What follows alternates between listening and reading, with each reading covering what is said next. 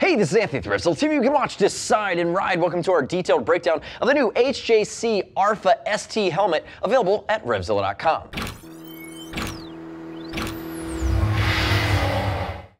So part of the RPHA line from HJC, this is their top end. We've seen an RPHA 10, we've seen an RPHA Max. This is the RPHA ST, which is now going to be sport touring. And when I see, think of sport touring, I think longer distance optimized, comfort, ventilation features, and a helmet that's probably happiest in the three quarter to the upright position versus that RPHA Max or the RPHA 10, which is going to be your sport oriented helmet or the RPHA Max, which is your modular for nearly $100 more. Now they're coming in in between that three and $400 mark, which is a premium price point. Heavy competition in that category. You're going to have things like the Scorpion EXO-T1200, which is more sport touring oriented. And if you make a little bit more of an investment, you're graduating right into that Shark Vision R or that Shoei GT Air range. So again, stiff competition here, but for what they've put together, really standing on the shoulders of some of their premium technology that came out with this RPHA series in the last few years, actually pretty happy to see them concoct it in a way that's going to be very usable and perform pretty well. Now this is the black version. There's going to be a handful of colors. There's also some graphics that kind of ratchet it out. They're going to be a little bit more expensive.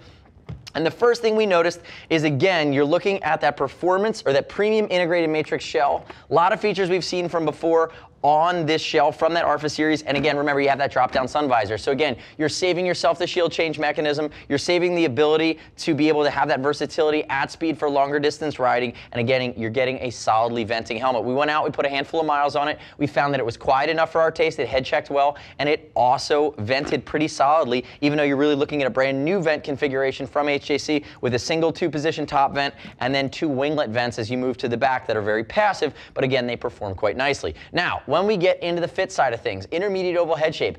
Five years ago, you'd say, oh my gosh, HJC, they're so round. These days, it fits spot on with what I tend to feel is the best fit for the American market that discounts some of the outliers. Intermediate oval, a little bit longer front to back, comforting as well as supportive through the cheek pads. Again, no surprises there. If you're really round or you're extremely narrow, probably not the best fit, but there are helmets that are designed for those outlier cases. So again, no questions here with regard to the fit. It's going to be in line with the RPHA series. And remember, if you're concerned about fitment, we're going to ship for free over 39 bucks. And I'd always love to hear your comments, your questions, your feedback on YouTube. Be sure to click like right there and subscribe to us.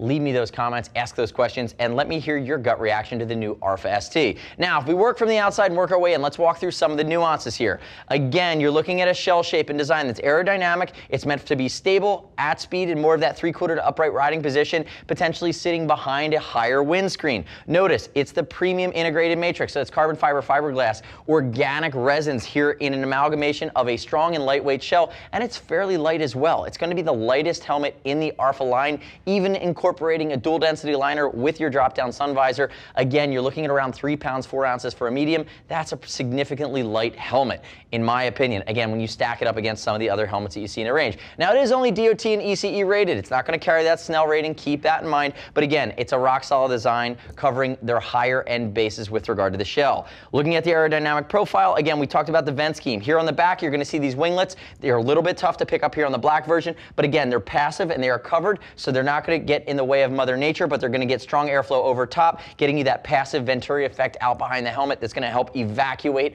warm, moist air from the head. And then if we look here on the front, you're going to see there's a two position, and again, it's open and more open. Here on the top of the helmet, that's going to vent directly down the mohawk. This is a little bit different than we've seen on any of the other HJCs. Anytime we see a brand new style event, we wonder how well it's going to perform from a quiet standpoint. And again, we put miles on it and it was just fine. Now, if we flip around to the back, you're also going to see a couple other passive winglet vents.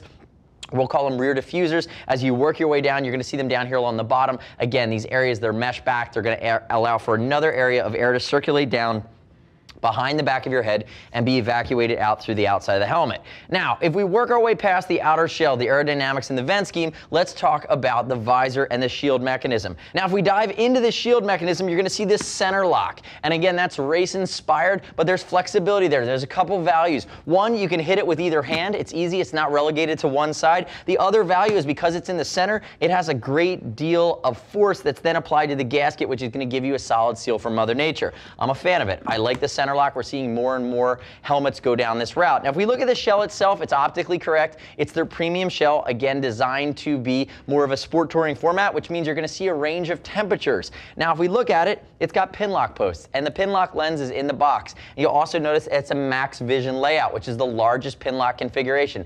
That's a nice touch. That's a nice value. It's a nice add-on. And what it does is it saves HJC from having to do a fog-free coating on this shield, which will eventually wear off. What it gives you is that physical barrier between you and Mother Nature, and it's going to allow your shield to stay fog-free by basically creating a double-paned window effect. Now, if we open it up, you're going to see that I have my drop-down sun visor, and it's actuated on the left and right side. It's going to be anti-scratch, optically correct. It's going to be anti-fog. Again, they're doing that. Tracks back into the helmet. I will say this, I like the actuator much better on the RPHA Max helmet, which is a little bit more expensive. And that's going to be an actuator to operate that down the mohawk of the helmet. For whatever reason they chose to design it this way, I'll just say that the cable mechanism on some of the other high-end helmets on the market are a nicer, cleaner, smoother actuation or less jerky. I think that jerkiness over time could potentially begin to wear out. Again, just my two cents, not having put 2,000 miles on this helmet. But again, if we look at it, it's just something that they could definitely improve in the longer term. And again, diving in here to that gasket that we spoke about, it's a solid gasket and the ability to have that front lock on the helmet is going to give you a better chance of having that gasket really come into play and create a great seal. Now you'll notice I didn't push it down all the way. That's because I want to show you the side or the shield change mechanism. And because you have a drop down sun visor, you're really not going to have to carry an extra shield unless you really want to because again, you have that flip down to cover you from the sunlight. No need for that dark smoke shield. But if I move it up here and I press on the side, Really quick, really simple. That's your evacuation point for your shield. If I pop it back on, very, very simple as well. So everybody is getting much better in all of the helmet manufacturing that we're seeing these days up north of that $250 range at making a shield change mechanism. That's gonna be much more rock solid. Now again, as you make it your way down to the chin bar, not a ton of changes. Again, a similar style that we've seen. It's a one position, it vents to the shield. There's your chin vent. Again, optimized for a more three-quarter upright experience, optimized to get great airflow, optimized to be comfortable at speed. And when I pull the comfort liner out, you're going to see the interior guts of the helmet, a lot of different colorways, a lot of wear for the air to circulate over top of your head, especially if you're sweating, and give you the chance to be cool, be calm, and be collected. Last order of business here out around the shield, if you're thinking that you have maybe one of the brother helmets or sister helmets of this in the RPHA family, and you might want to interchange your HJ20 shield, do keep in mind that the RPHA 10 is going to be that 2D flat shield, which is more race oriented in the HJ20 flavor. This HJ20 is actually the HJ20 ST, which is a little bit different, has a 3D effect to it. It's going to be better suited for sport touring riding in that configuration. So again, if you have some dark shields or iridium shields from other RPHA models, they're not going to be interchangeable here on the RPHA ST. Now, if I grab my donut here and I flip this bad boy on its side, let's walk through the guts. Classic HJC RPHA series guts here. They're going to be antimicrobial, wicking, they're going to be very comfortable, and again, they're going to be the more higher end components that you're used to seeing.